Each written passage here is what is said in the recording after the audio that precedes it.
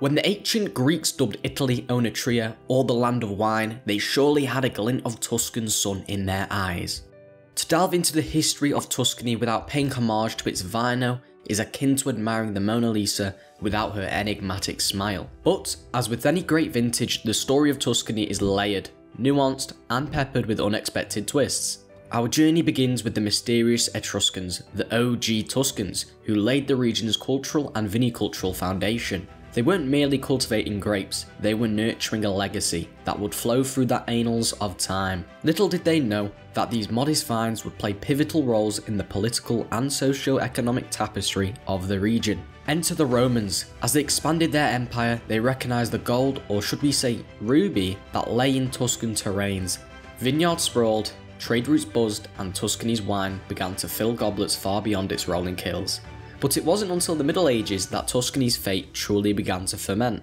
The region became a geopolitical hotbed with cities like Florence, Siena, and Pisa vying for dominance. Ah, the medieval soap opera of Tuscany, filled with political intrigue, power plays, and of course, wine. Florence, with its booming wool trade and banking prowess, emerged as a powerhouse, and at the helm, the Medici family. Their influence wasn't restricted to the arts, they also had a penchant for the finest Tuscan wines. By endorsing and promoting these wines, the Medici inadvertently stamped Tuscany's ticket to global fame. Wine's socio-economic influence is undebatable. As the region's reputation grew, so did its wealth. The flourishing wine trade funded architectural wonders, turning cities into art canvases. The very wealth that derived from wine trade led to the Renaissance, a period that painted Tuscany with an irrevocable brush of glory. But let's not romanticise too much. Tuscany's history was punctuated with battles and sieges, the bitter rivalry between Florence and Siena culminated in the Battle of Montaperti in 1260, a devastating defeat for Florence.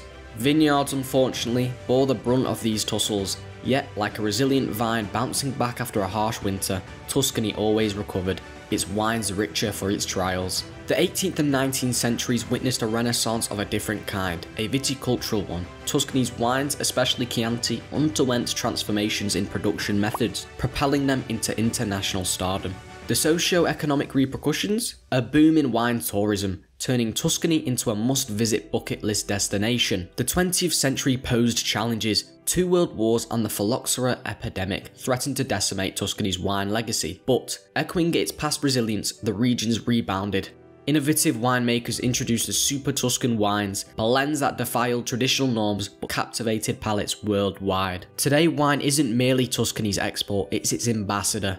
Names like Brunello di Montalcino and Vernaccia di San Gimignano don't just roll off the tongue, they invite you into a narrative steeped in history, politics, and passion. Tuscany, a land where nature whispers secrets to vines, and where terroir isn't just a term, but the soul of the wine. Tuscan terroir has a varied soil composition that is dominated by Galestro, Estetious clay, and Albarese, a limestone-rich rock, both of which are especially prevalent in the revered wine areas of Chianti and Montalcino. These well-draining soils stress the vines, compelling them to burrow deep, resulting in grapes with concentrated flavours. Additionally, the region's mild maritime climate influenced by the Tyrrhenian Sea ensures a longer ripening season. This interplay between soil and climate imparts the wines with their distinct mineral undertones and robust character, echoing the essence of Tuscany. Let's explore some well-known Tuscan vineyards.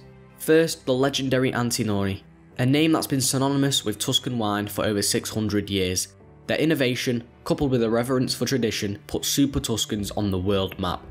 A bold move that reshaped global perceptions of Italian wines. Next, Castello Banfi. Nestled in the Brunello region, this vineyard rejuvenated Sangiovese. Their meticulous clone research elevated Brunello di Montalcino into an international sensation, true visionaries of viniculture. And then there's Sassicaia, the jewel of Tenuta San Guido. Their Bordeaux-style wines redefined excellence, proving that Tuscan terroir could rival France's best. A sip of Sassicaia is a dance with history. Tuscany's terroir doesn't just nurture grapes, it crafts legends, each vineyard a chapter of excellence. While Tuscany's wines are divine, its tales stretch beyond the vine.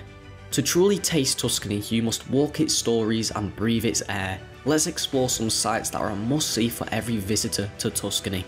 Let's start with the iconic Pisa's Leaning Tower. More than just a photo op of folk support, it's a marvel of medieval engineering. Standing tall since the 12th centuries, it's in Pisa, and yes, it's still leaning. Florence, or Firenze, Tuscany's heart. Beyond its art galleries lies the Ponte Vecchio, a bridge draped in history and draped in gold. Jewelers have sparkled here since the 16th century. Window shopping, oh, it's an art form here. Now, for a Tuscan secret, the Saturnia hot springs, tucked away in Maremma, these thermal waters promise relaxation that even a spa would envy. Mother Nature's own jacuzzi. Venture into the sacred forest of Bomarzo, a renaissance garden sprinkled with fantastical sculptures, giants, dragons, and tilted houses, it's Alice's Wonderland with an Italian twist. Located in the northern Lazio region, kissing Tuscany's borders. Finally, drift through Val d'Orcia, a UNESCO treasure, not for the gold or diamonds, but for its jaw-dropping vistas. Rolling hills, ancient farmhouses, and that oh so Tuscan sky. For those with wanderlust hearts, but perhaps not the wallet for an international jet setting, this tasting is a ticket to Tuscany. With every sip, hear the chatter from a Florentine market, feel the cobbled streets of Siena underfoot, and savour the passion of Italian artisans. While we can't teleport to its undulating hills or meander through its medieval streets, we can certainly let our taste buds embark on an Italian escapade. So, dust off that corkscrew and set the table, because we're taking a vinous voyage. First, Chianti Classico, a deep ruby red, this wine carries the soul of Tuscany, enticing aromas of red cherries, plums and a wisp of leather. On the palate it's a harmonious blend of juiciness and tannic depth, perfect with a classic tomato bruschetta or a healthy plate of spaghetti al pomodoro. Tuscany isn't just about reds though. Vernaccia di San Gimignano is a white wine as refreshing as a Tuscan breeze.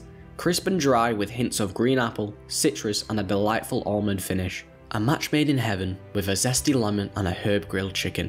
Rosso di Montepulciano is the younger vivacious sibling of Vino Nobile, Fragrant with notes of violets and red berries, there is also a tantalising touch of spices. This wine complements a charcuterie board, especially with aged pecorino and finocchiona salami. Morellino di Scansano is from Tuscany's coastal region. It's Sangiovese with a sea-kissed twist. This wine is bursting with blackberries, cherries and an underlying earthiness. It is especially ideal with a roasted lamb or a rosemary infused grilled steak. Remember, while geography confines us, flavours liberate. To Tuscany, in spirit, if not in person. Until next time, keep your spirits high and your wine glasses higher. Chin chin!